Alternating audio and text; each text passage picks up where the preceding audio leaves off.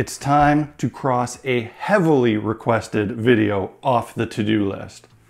Hobby Desk Tour. Hey guys, welcome back to Blackmagic Craft. I'm going out of town this week, so I'm not gonna be building anything, but I'm gonna use this opportunity to tackle a video that people ask for all the time. Currently, this might be my most requested video, a tour of my hobby desk. Now I know a lot of you would like a tour of the whole space, but this beast deserves a video of its own. Having a dedicated and organized workspace is crucial for the way I work as a creative person. This is not something that everyone has the luxury of being able to do, but if you are designing your own workspace, your own workbench, then hopefully this will help. The most important question to answer, what is this desk? I'd love to give you a link to a product so that you could go out and get the exact same thing, but that is not very easy to do. My setup here is in fact built from IKEA kitchen cabinets. And if you've ever purchased kitchen cabinets from IKEA, you know that all of this is not one simple product to direct you to, it's about 200 individual products. This is just kitchen cabinets.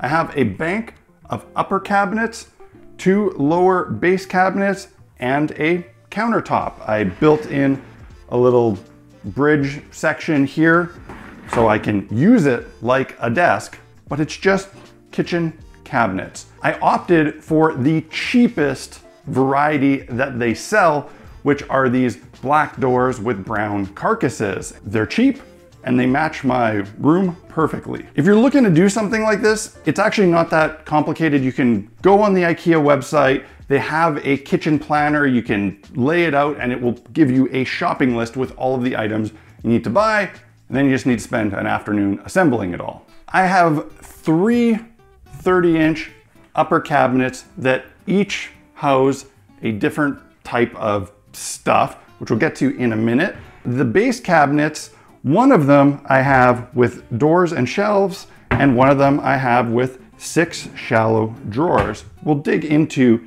them in a second. Right at my face, I have the things that I use the most. Here I have all of my dropper bottle paint stored, and I have a mix of various brands, mostly Reaper, Vallejo, but there's also some Green Stuff World as well as some others. They're all conveniently stored in these paint racks from shiftinglands.com. And I actually have a whole video dedicated to reviewing these paint racks and assembling them, so I'll post that up in the corner. These are really great and they get asked about all the time. I absolutely love them. This whole section, in fact, is kind of a little painting section. On top, I have some of the other non-dropper bottle paints, like some GW stuff and some random other bits that sit on top.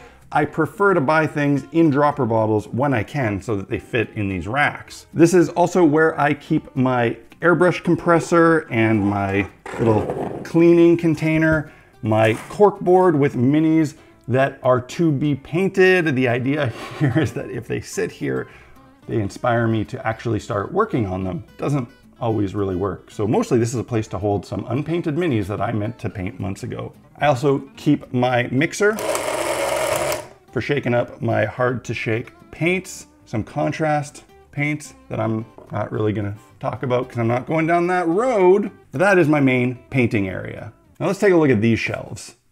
I get asked all the time, where did I buy these shelves? And the answer is, I didn't. I made them. They are really simple J-shaped shelves made out of half inch MDF. Anyone with even a tiny bit of carpentry skills could make these. It's just a piece of MDF on the back, piece of MDF on the bottom, and a piece of MDF on the front to create a little lip. Really, really simple. Countersunk holes screwed right to the wall.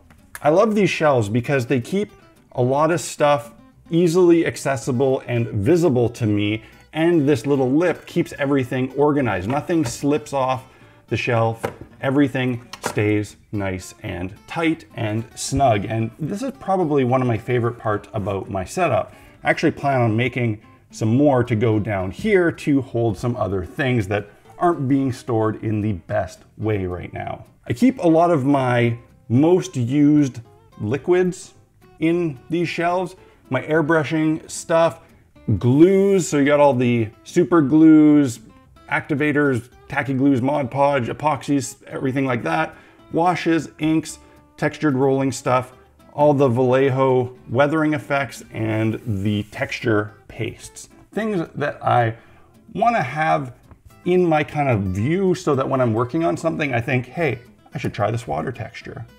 Anybody that's watched any of my videos is very familiar with my cutting mats. They get more screen time than I do. You may have noticed that recently I've actually switched to this black cutting mat, but I've recorded hundreds of videos and projects on this gray Fiskars one, and I absolutely love this thing. The amount of abuse I've put it through and how well it's held up is absolutely incredible. Other than being totally painted and, you know, kind of covered in stuff like that, it's still totally fine and actually has a clean side that I could still use. I decided to switch to this black one simply because I thought it looked a little bit better on film. But this Fiskars one is a absolute champ. Now I just use it for painting so that I can try to keep this one clean, but as you can see, I'm already failing at keeping this one clean. Taking up a huge chunk of real estate on my hobby desk is my Proxxon hot wire cutter, and for good reason. I use it all the time. This is my number one tool. Without this, I wouldn't be who I am or the channel that I am. This thing is an absolute all-star and I always keep it close at hand, ready to use with my shiftinglands.com Guider Pro.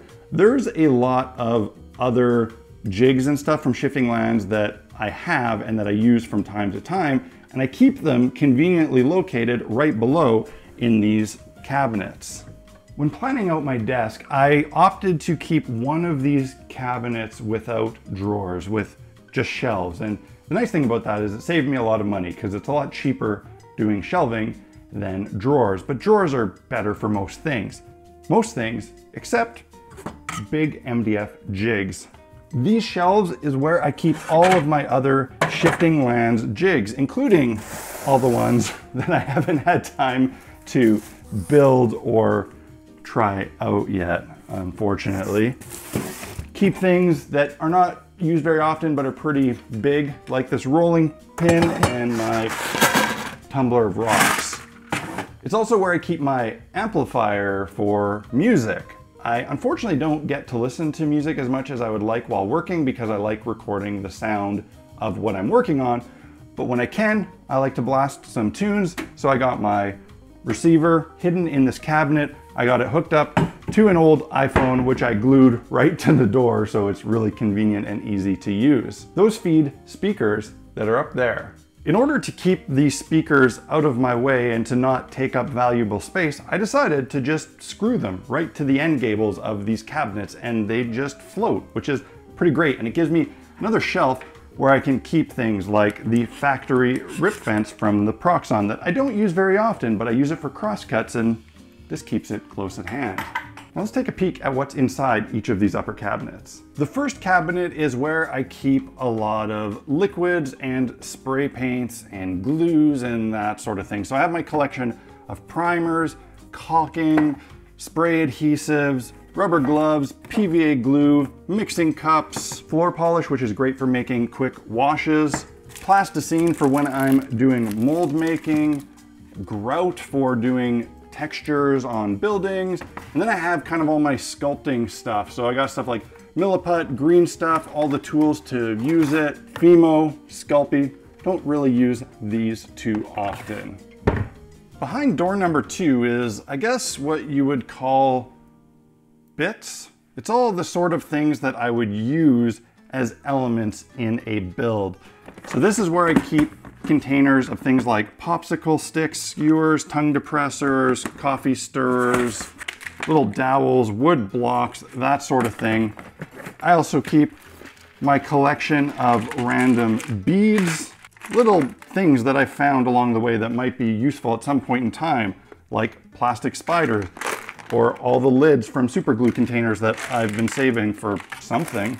I also keep some sprues because they might be handy for something, although I haven't used them yet. Boxes of random things like tea lights and plastic skulls. Offcuts of foam where I've made extra and not used it all in a project. I have all my MDF windows and little bits like that. Then just random things that I might use on a build like miniature chain or wire, empty containers that I get when I buy super glue. I keep these because they're super handy for mounting minis to for painting. The last cabinet is where I keep all of my natural stuff. So all my flocking, my stones, my twigs, my plants, my shrubbery, my little static grass tufts, that all lives in here. Basically all of the nature elements that I might add to a finished project. And I like to keep all of this stuff separate and together because it all kind of plays the same role in a build. So when I'm looking for natural things to decorate a piece with, I can just come to this cupboard and see what strikes my fancy. Below this, we have the drawers. Deciding to take one of these lower cabinets and fill it up with shallow drawers was one of the best decisions I made on this desk. And I actually didn't make that decision right out of the gate. Originally, it also had doors and shelves, but I found it to be totally useless, so I actually came back in and added a bunch of drawers, and I'm really glad that I did. You'll notice though that I don't have handles on them because I haven't found handles that I like yet, and handles are expensive.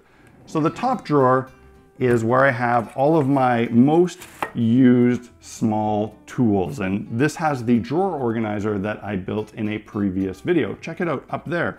All of my most used little hand tools close by. I usually end up just keeping this drawer open while I'm working and I take things in and out of it all the time. Below that is my paint drawer. All of my expensive, nice modeling paints are kept up in those racks, but all my cheap craft paints, which get used a fair bit, all live in this drawer here. And these shallow drawers are perfect for this because I can just lay them all out flat.